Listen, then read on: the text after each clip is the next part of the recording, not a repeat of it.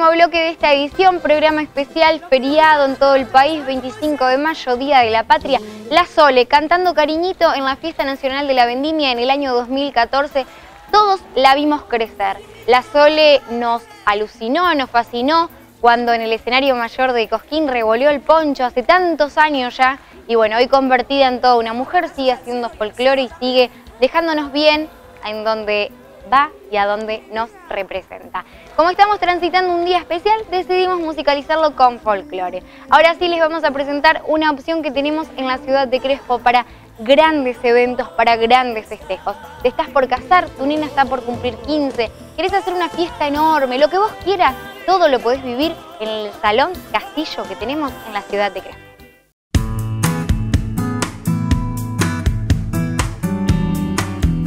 Sobre una parcela de 2.500 metros cuadrados, entre las calles alemanes del Volga, ruta número 12 y acceso a Crespo, se erige el castillo. Este es uno de los iconos más importantes de la ciudad y más vistosos en cuanto a la historia de la ciudad de Crespo, por su tamaño, por su ubicación y por su estilo. Su construcción comenzó en el año 1996 sobre un terreno donado por el contador Fernando Alberto Huck y terminado luego de cuatro años, dando así mayor funcionalidad a sus instalaciones. Aunque ya el 23 de septiembre de 1997 se festejó aquí una fiesta con la presencia del embajador alemán Dr. Adolf Ritter von Wagner. La estructura del castillo tiene una capacidad aproximada de 2.000 personas y ostenta cerca de 2.000 metros cuadrados cubiertos, formados por una planta baja y dos entrepisos tipo plateas, a los cuales se puede acceder a través de un ascensor y tres escaleras. También cuenta con un amplio escenario con subsuelo, una cocina totalmente instalada, parrillas interiores, instalaciones sanitarias y una terraza a casi 14 metros de altura, desde la cual se puede apreciar una espectacular vista de la Ruta Nacional número 12 y de la ciudad de Crespo. Su entorno está flanqueado por pinos y una calle afirmada de mil metros, la cual permite realizar un circuito en un predio de casi 4 hectáreas que circunda al edificio. El castillo alberga y representa al sentir, las tradiciones, la cultura y el espíritu de la colectividad alemana, cuyos antepasados provinieron del Volga, poblaron nuestra región, estando representados en Crespo en casi el 70% de los habitantes que son descendientes o familiares de aquellos abnegados inmigrantes.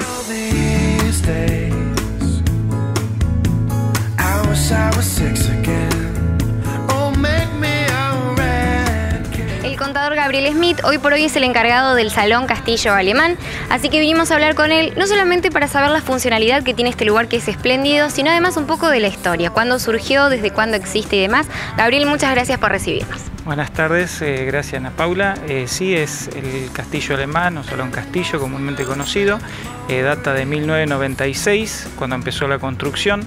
se puede decir que la construcción finalizó cuatro años después, con la, la puesta del techo, ¿no es cierto? Pero ya desde los primeros momentos era utilizado por la colectividad alemana para hacer su Oktoberfest, su fiesta de la colectividad alemana. Ya en 1997 también se realizó hizo una fiesta importante con el embajador de Alemania, el doctor eh, Adolf Ritter von Wagner. Eh, o sea que bueno, todos los años siempre ha ido mejorando en la edificación hasta bueno, estar completo se podría decir en el 2000 cuando se pudo eh, poner la, cubierta este, total, ¿no es cierto? Para bueno, darle la, total funcionalidad al edificio. Bien, o sea que estaría próximo a cumplir ya las dos décadas. Eh, cuesta creerlo, yo me acuerdo cuando, cuando comenzó a realizarse, cuando, bueno, todas estas etapas que estás contando las recuerdo, era muy niña, pero sin embargo eh, fue un recuerdo impactante porque era algo muy novedoso dentro de la ciudad de Crespo tener un castillo. Va a cumplir casi 20 años. Tendríamos que recordarle a la gente que no es de la, de la localidad, pero sí que nos puede ver a través del aire del 6, dónde está emplazado, qué ubicación tiene, las dimensiones y demás. ¿Cómo lo podemos encontrar? Los que conocen Crespo seguramente se han impactado visualmente. Sí, eh, bueno, el castillo está ubicado en el acceso a la ciudad de Crespo, provincia Entre Ríos, en la intersección de Ruta 12 y acceso a la localidad de Crespo.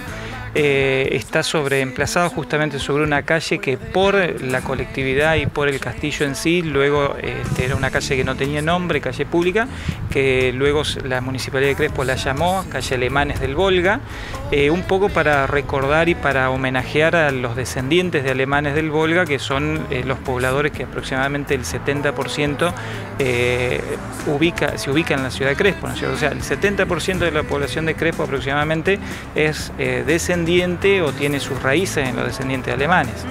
Así que bueno, está, como decía, es, un lugar bien, bien ubicado, cómodo, porque está a la vera de la ruta. Eh, para los eventos y demás que se hacen no es necesario entrar a la ciudad de Crespo, pero está desde la ruta se, visualiza, este, porque no puede pasar desapercibido, eh, está emplazado en una superficie de aproximadamente 2.000 metros cuadrados, este, en un terreno donado por un privado y bueno, este, la colectividad decidió este, ahí hacer, quería tener su sede social y bueno, se pensó en un poquito en lo que es los castillos alemanes, los castillos de, Rusia, del Volga, que eh, bueno, para darle un poco de, atractivo y un poco de color a lo que es la institución. Completamente atractivo el formato, la edificación, el diseño. Es eh, muy llamativo a la hora de, pensar en el festejo, sea un, festejo de un privado, sea un festejo de una institución, pensar en hacerlo en un castillo es como una idea muy glamorosa del evento. ¿Qué personas o quiénes son los que realizan eventos? ¿Qué tipos de eventos se realizan desde aquí? Sí, eh, en realidad se usa para multieventos, eh, se hacen desde fiestas de privados, casamientos, cumpleaños de 15, eh, eventos en instituciones, instituciones públicas, privadas, escuelas, cooperadoras. Eh, tiene, se pensó en un edificio que sea funcional, polifuncional.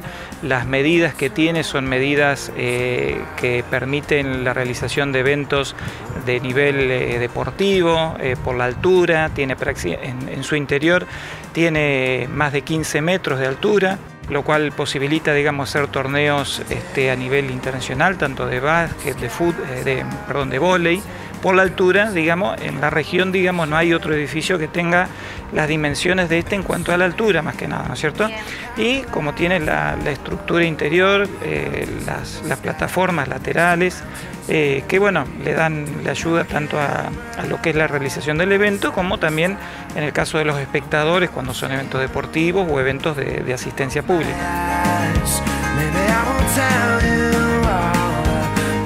particularidad que tiene es la comodidad del estacionamiento. Es un estacionamiento amplio, además es iluminado. Es otro de los servicios, digamos. Sí, sí, eh, o sea, al castillo en sí lo circundan casi cuatro hectáreas de un predio. Eh, este año se han sido asfaltadas las calles internas del predio, eh, lo cual permite ampliamente que casi mil autos se puedan estacionar dentro del predio en sus calles interiores, en las distintas plataformas. Eh, lo cual, bueno, eh, hoy, hoy por hoy no, nos preocupa si llueve o no llueve al momento de hacer un evento porque los asistentes pueden tranquilamente estacionar y, no salir embarrados antes de entrar al lugar. En cuanto a la capacidad y a la estructura interna, ¿cómo sería el castillo en ese sentido? Bueno, el castillo está formado por la planta baja, eh, tiene aproximadamente 65 metros de largo por unos 35 metros de ancho, útiles, se extiende un poquito más por las columnas y los bajo entrepiso, tiene dos entrepisos, el primer y segundo entrepiso superiores, eh, tiene un escenario de aproximadamente 80 metros cuadrados con un subsuelo que se utiliza de camarín, de vestuario.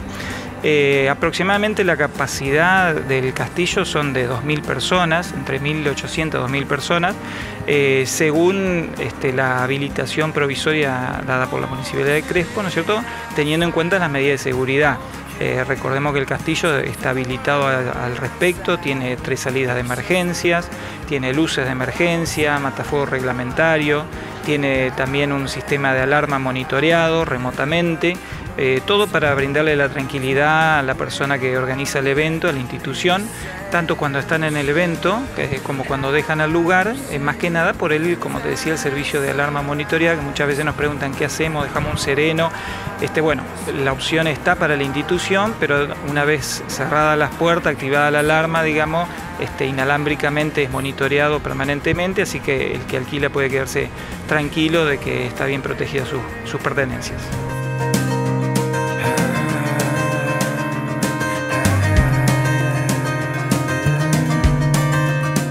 Cocina del lugar, para, para eventos que justamente involucran la parte gastronómica, culinaria, ¿cómo es la cocina o qué disponibilidad hay? Sí, en la cocina este, hay un anafe industrial, este, tiene horno rotativo. Eh, en la planta alta que está comunicada a la cocina por un montacarga tiene parrillas interiores también. Eh, tiene freezer, tiene dos heladeras comerciales, una exhibidora para tortas, eh, o sea, tiene bastante amplia la, digamos, la, infraestructura. Este, bueno, cada, cada, servicio gastronómico también lo adapta a sus necesidades, ¿no es cierto? Y su funcionalidad, pero digamos está básicamente este, bien organizado para que cualquier evento desde chico a grande pueda tener las comodidades necesarias.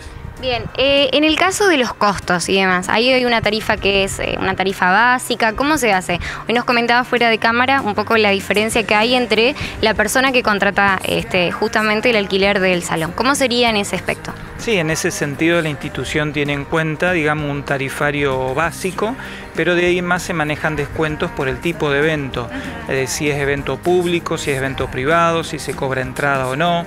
Eh, si lo realiza una cooperadora, si lo realiza este, otro tipo de organización, eh, depende de los fines de lucro ¿no? del, evento, la cantidad de asistentes, eh, se ha establecido un, tarifario bastante mixto para que no sea un solo precio de alquiler, sino que para toda institución que esté interesada en, en, hacer eventos, muchas veces las escuelas no tienen espacio para hacer eventos con grande cantidad de gente, este, también para que los costos sean accesibles a, las instituciones intermedias también. Bien, en el caso de las personas que en este momento están mirando la entrevista y están interesadas en realizar alguna fiesta, sean particulares o sean gente de la zona que quiere tal vez trasladar a, sus eh, habitantes a hacer una fiesta aquí, porque sabemos que puede hacerlo no solamente la gente de Crespo, sino la gente de la región con quién hay que contactarse, cómo son los pasos a seguir para averiguar costos, para planificar esto, para evaluar el hecho de la posibilidad de, los descuentos teniendo en cuenta las características de la persona que quiere alquilar. Sí, eh, bueno, nos pueden contactar telefónicamente al 0343-495-1026, que es el teléfono de la oficina, está mi celular también, el 343-5044-870, o también a través de nuestra página de Facebook, que la buscan en Facebook. Eh, Salón Castillo.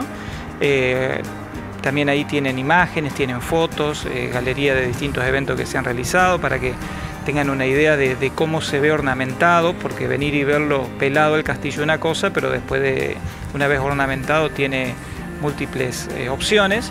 Eh, entonces directamente nos contactan por esos medios, que bueno, gustosamente recibiremos las inquietudes. Claro, como para también observar un poco la versatilidad que tiene el castillo, no es lo mismo como decís vos, venir y verlo en un momento que es no festivo, a la preparación en sí que realmente lo transforma en un lugar mágico. He presenciado eventos en este lugar y cada, cada ornamentación o cada estilo le da una impronta distinta, pero lo que no se pierde objetivamente es que el castillo es un castillo y que es hermoso realmente pasar momentos buenos de festejo, de celebración o de eventos en este lugar. Muchas gracias Gabriel por tu tiempo y bueno, ojalá que haya sido útil a la gente y que se contacten para ver si pueden también realizar alguna actividad aquí. Bueno, muchas gracias a ustedes y bueno, a su disposición para los que quieran consultar este, en los medios de contacto que habíamos establecido.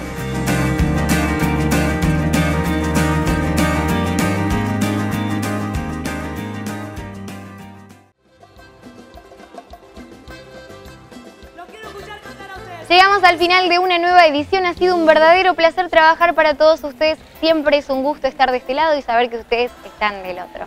De corazón les deseo que pasen un feriado hermoso y reconfortante, que este fin de semana largo les sirva muchísimo para recargar las baterías, para que mañana martes no sea un día tan como son siempre los comienzos de semana, tan lunes, mañana que sea martes y no lo van a arrancar empacados. ¿eh? No quiero nada de caras largas que un martes que tiene sabor a lunes, no quiero andar leyendo nada de eso en las redes sociales.